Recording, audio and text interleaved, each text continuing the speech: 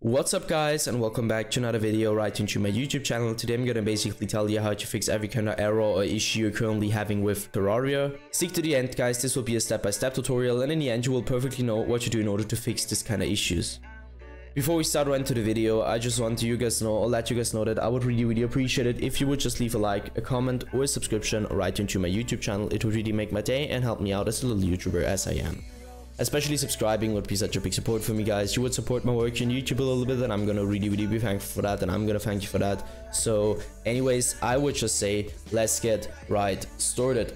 So the first step I would recommend doing for everybody is gonna be to navigate to your taskbar. You're gonna right click your taskbar and open up your task manager navigate to the top left spot uh, top left corner click on the processes and once you click processes i want you to um click one of those random processes, doesn't really matter which one, and once you clicked it, I want you to type in the name of your game, and if nothing pops up, it's good for you. If something pops up, simply right click and end the task.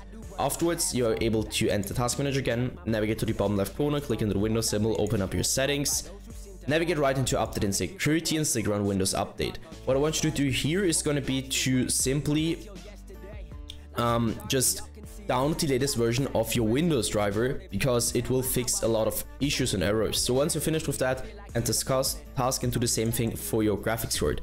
So go to the application, go to the browser and download the latest version of your graphics card driver just to provide the best possible performance in general for your PC. Once you're finished with that, take your in-game shortcut on your desktop or your game shortcut, so your launch shortcut, you're gonna right click it Go to the very bottom where it says properties, you're gonna hit compatibility and simply copy my settings. So let's quickly run through it. Enable run this program compatibility mode 4, select Windows 8, disable the disable full screen optimizations as well as enable run this program as an administrator, hit apply and OK.